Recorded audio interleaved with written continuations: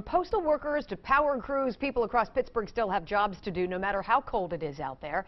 Channel 4 Action News reporter Marcie Cipriani braved the chill and followed one worker who makes his living outside.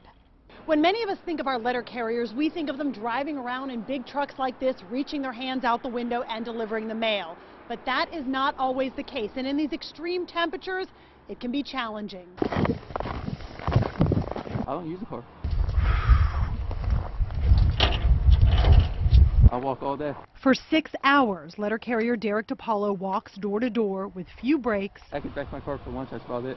a lot of layers, I got thermal shirt on, sweatshirt, scarf, two pairs of gloves, foot warmers, hand warmers. and still a few specks of ice on the little bit of exposed skin. You seeing anybody else out here working? I'm the mailman That's it. and the UPS guy.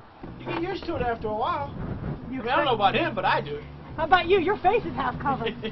Hey, I'm, hey, another package, another dollar. Despite the frigid temperatures, deliveries kept coming. As soon as I hit up to Forbes, I'm gonna have to throw throw my pilot hat on.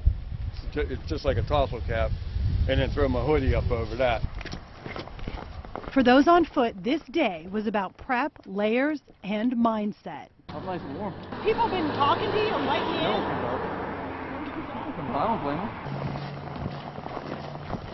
Those we spoke to are hoping that today is the coldest day they'll have to face this winter.